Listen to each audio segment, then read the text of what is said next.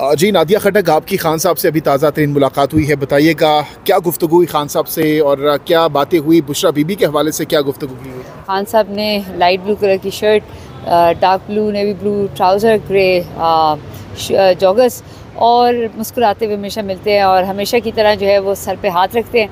और मुस्कुराते हुए पूछते हैं क्या हाल है? आम, सबसे पहले मैंने बुशा इमरान से उनकी तबीयत के बारे में पूछा और ये बताया चूँकि कल बनी गाला में अगर आपको मालूम हो कि एंबुलेंस जो है वो दो दफ़ा ही डॉक्टर्स रात को आए और वो बहुत ही ज़्यादा तशवीश सूरत हाल थी और ना सिर्फ़ पाकिस्तानी बल्कि ओवरसीज़ पाकिस्तानी बहुत ज़्यादा वो थे और मैं वहाँ पर पहुँची और सुबह पाँच बजे तक हम वहाँ पर थे। मैंने बुशा इमरान से पूछा कि मुझे औरों का तो नहीं पता मुझे आप बताएँ आपकी तबीयत कैसी है? तो पहले वो मतलब खामोश थी। जिस तरह उनकी एक, वो कहते साबिर है, लेकिन उन्होंने बताया मेरी तबीयत ठीक नहीं है।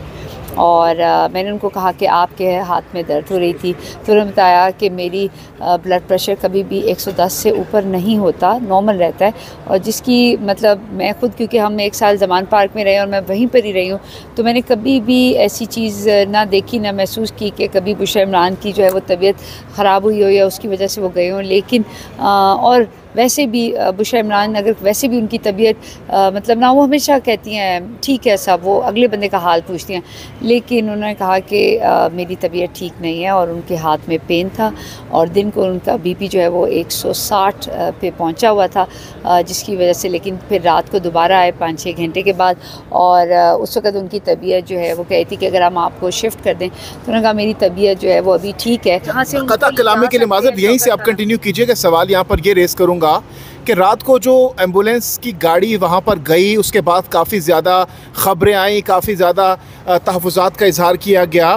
पीटीआई के रहनुमाओं की जानब से सभी सोशल मीडिया पर ट्वीट्स भी कर रहे थे पूरी रात। तो उस हवाले से आपने दरियाफ्त किया। बुशा बीबीसी के क्या हुआ था? ये रात को एंबुलेंस की गाड़ी क्यों आई वहाँ पर? मैंने उनको बिल्कुल बताया था कि पूरी ओवरसीज़ पाकिस्तानी पाकिस्तानी एक ही बात पूछ रहे हैं कि वो बुशा इमरान की तबीयत कैसी है और जिसकी वजह से वो काफ़ी ज़्यादा परेशान है। और मैंने कहा, जी हंड्रेड परसेंट नहीं तो नाइन्टी नाइन पॉइंट नाइन बल्कि आप सौ फ़ीसदी समझे, आप ही के बारे में पूछ रहे थे। और मेरा फ़र्ज़ है और आपको ये बताना है कि आप तो उन्होंने और आपका ये बताना फ़र्ज़ है कि आपकी आया तबीयत तो उन्होंने थोड़ा रुकी और फिर उन्होंने बोला और उनसे बात भी नहीं की जाती, उनके मैदे में भी जो है वो पेन है। और वो कोई भी चीज़ जब खाती हैं या पानी भी वो पीती हैं तो वो उनको टेस्ट ठीक नहीं लगता। वो बल्कि कहती हैं कि मुझे अपना कड़वाहट करने के लिए मैं बिस्किट खाती हूँ। तो मैंने कहा, आपकी बिस्किट खाती हैं तो आपका वज़न कम क्यों हो रहा है? ठीक है मतलब मीठा अगर वो खा भी नहीं है तो वज़न तो उनका और एक जगह पे, चुके उन्हें कमरे में बंद है और फिर उन्होंने कहा कि उनकी तबीयत और जो आ, उनका हाथ में पेन था। आ, मुझे आप बताइए कि आधी रात को एंबुलेंस दोबारा क्यों गई थी? क्योंकि बुशरा इमरान की तबीयत ठीक नहीं थी। इस, इसी हवाले से आपने पूछा उनसे? आज दिन तक उनका बीपी और जो कि ये कह रहे थे कि शायद इनका ईसीजी जो है यानी उनका जो हार्ट बीट है उसमें कोई पेल्पिटेशन या कुछ आ रही है जिसकी बेहतर जो है वहीं पर ट्रीटमेंट हुई एंबुलेंस की गाड़ी जब गई थी या इनको बहुत रात को जब हुई तो उनको वहाँ से मुंतकिल किया गया या फिर वहीं कहा कि मेरी तबीयत जो है वो स्टेबल है। अच्छा। आ, लेकिन दिन को उनका था फिर उसमें पाँच छः घंटे का जो है वो आ, जो है उन्होंने वक्फा दिया था एंबुलेंस की गाड़ी क्यों गई थी? वहाँ पर अगर स्टेबल थे। क्योंकि वो कह रहे थे कि अगर आपकी ज़्यादा तबीयत वो है तो आपको आपको हम हॉस्पिटल लेके जाते हैं। लेकिन उससे पहले तो नहीं लेके गए। उससे पहले नहीं लेके गए दोपहर को नहीं लेके गए लेकिन रात को जब उनकी तबीयत ठीक थी तो उन्होंने कहा मेरी तबीयत ठीक है। और मुझे मैंने बल्कि बाहर ये बात बोली भी थी कि मुझे यकीन है कि अगर बुशा बीबी की तबीयत बहुत भी ख़राब होगी और तबीयत ख़राब है भी लेकिन वो अल कादिर अपने जो वो है केस के सिलसिले में वो ज़रूर आएँगे। अच्छा अभी आपकी मुलाकात हुई आपने क्योंकि वो अभी भी ठीक नहीं थी। बुशरा बीबी को देखा तो वो बताया जा रहा है कि उनके होंठ भी वाइट हो चुके हैं बज़ाहिर उनकी कंडीशन बहुत ज़्यादा अबतर है।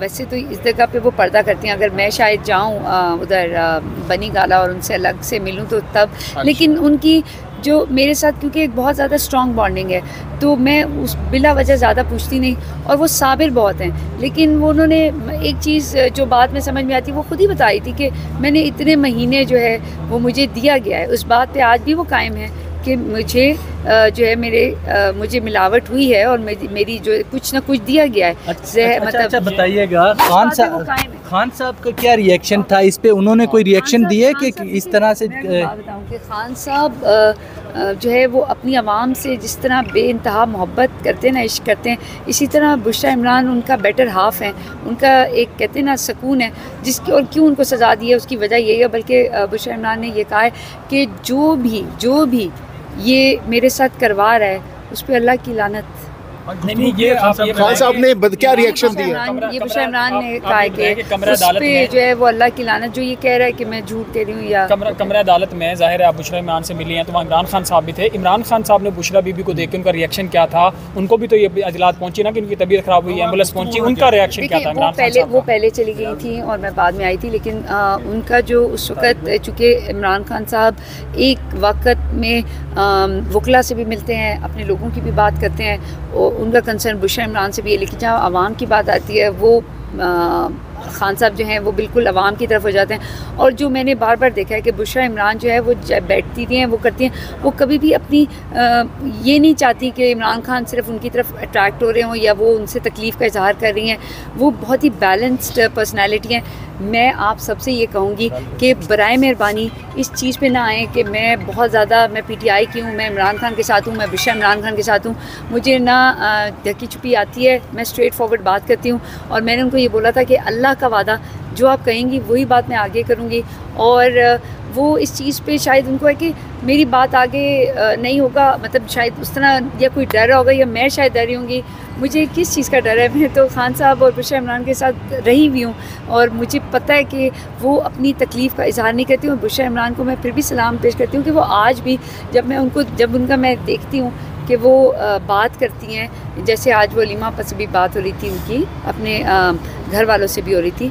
लेकिन वो किसी तौर पे इमरान खान को अपनी तकलीफ़ का जैसे जैसे एक बीवी कर सकती है उसे करना चाहिए वो अब भी वैसे नहीं कर मिशाल मिशाल मिशाल यूसुफ जई बुशरा बीबी की तर्जुमान है। हैं आप मानती हैं? वो उनके साथ देखिए मैंने आज मैं, मैं बात कर रहा हूँ हैं या नहीं है? फोक मेरे मेरे, साम, मेरे सामने तो उन्होंने फोकल पर्सन लेकिन हाँ वो उनसे बात वो तो प्राडो लेने के चक्रों में उधर फिर रही है इधर तो बीबी को जहर दिया जा रहा है या हॉस्पिटलों में लाया जा रहा है वो तो नहीं मैं जो ऑफिशियल तर्जुमान दो करोड़ की गाड़ी की डिमांड कर रही है मैं उसकी बात कर रही हूँ। मैं उनकी ऑफिशियल कहें मैं उनके घर की बंदी हूँ और मैं खिदमात किसी से ढकी छुपी नहीं है आप फ्रंट लाइन पे हैं लेकिन मैं जिनकी बात कर रहा हूँ उस हवाले से बताइए ना मैम ज़रूरी है कि कोई आपको आके साइन करे आपको मेरी मेरी ज़ुबान पे मेरी बात पे यकीन होना आई एडमिट आप एडमिट में आपकी खिदमत किसी जगह फैजाबाद धरना हो 126 दिन का धरना हो आप बात सुन लें। मैं ये कर रहा हूँ वो जो तर्जुमान बनी है जो एक करोड़ छिहत्तर लाख सात हज़ार की गाड़ी फार्चूनर मांग रही हैं वो बीबी जो तर्जमान बनी है वो क्यों नहीं आ रही? वो क्यों नहीं स्टेटमेंट दे रही? बीबी का तो कोई ताल्लुक नहीं है सियासत से। ना वो सुनती है ना वो इसको वो करती है। देखिए मशाल अगर उसको जो भी उनका जो पब्लिक इस वक्त एक है सीट है उसके जो आला लोग हैं उनको ज़्यादा बेहतर पता है। मैं तो इस वक्त ये बता रही हूँ मानती है बुशरा बीबी का? मैं बुशरा बीबी ने उनको तर्जुमान रखा है? मेरे सामने तो ये बात नहीं हुई तो लेकिन अगर पेपर ज़्यादा खिदमत किसकी हो सकती है? ना आपको एमपीए बनाया गया ना एमएनए बनाया गया। मैं बात कर रहा हूँ। वक्त तो बात कर रही हूँ कि बुशा इमरान की तबीयत के हिसाब से। जो मैंने सुना जो उन्होंने कहा मैंने आके बिल्कुल आपको वैसी ही बात बताई मिशाल यूसुफजई की तो बता दें मैडम कि वो तर्जुमान है। नहीं आप पीटीआई की सरकार खान की तर्जुमान हूँ मैं बुशा इमरान की तर्जुमान हूँ मैं पाकिस्तान तहरीक इंसाफ की तर्जुमान हूँ। मैं विशाल की क्रेडिबिलिटी क्या है? उसकी क्या कुर्बानियाँ हैं पार्टी में? सिर्फ़ ये है कि अच्छे अच्छे लोगों के साथ सेल्फियाँ बनाना और उसके बाद इंटरनली मामला में दाखिल होकर जो है वो वज़ीर अला की जो है वो मशीर बन जाना। बेहतर है कि सीएम साहब इसका वो करें क्योंकि मेरा जो आप नज़र नहीं आती? आपको तो मैडम क्यों नहीं टिकट दिया गया वैसे? आप तो कह रही थी मुझे रिज़र्व देंगे अभी बल्दियाती इलेक्शन हुए आपको नहीं तो दिया। आपकी खिदमत तो किसी से डकी छुपी नहीं है मैं तो सवाल पूछ। रहा हूँ और ये वही मिसाल है जिसने एक एक जराये के तौर पे सामने आया मिसाल ये वही है जिसने जियो की रिपोर्टर के ऊपर इल्ज़ाम लगाया और माफ़ी भी मांग ली है। और 26 साल रिपोर्टिंग कर रही है जो। गलती अगर हो जाए तो 10 दफ़ा भी माफ़ी मांग लेने से इंसान बड़ा होता है छोटा नहीं होता। और किसी की भी ज़ात की जो है नफ़ी करना वो इंतहाई बुरी बात है। मैं चूँकि मीडिया से मेरा एक घर रहा है मैं आज कुछ भी हूँ उसमें एक बहुत बड़ा हाथ मेरे माँ बाप के बाद उसका है। तो मैं ये कहूँगी कि जो भी जिससे भी कहते हैं ना कि आपके कॉन्शियसली और अनकॉन्शियसली अगर कोई गलती होती है तो मान लेने में कोई बुरी बात नहीं है। खान साहब मान लेते हैं तो। वो रात को ट्वीट करती हैं मैं पेशावर से मूव कर रही हूँ मैं ऑफिशियल तर्जुमान हूँ मैं पहुँच रही हूँ। नादिया खटक इज़ अनअवेयर नादिया खटक बनी गाला में है। आप उस, उस आप क्यों उधर इतना फोकस करते हैं? जो आप कहते हैं कि अगर नादिया खटक बहुत ही बेलौस काम कर रही है तो आप ये देखा करें कि तो तो नादिया की हैं उसकी तो यही कह रहे हैं उसकी कुर्बानियों का नतीजा नहीं मिला। नादिया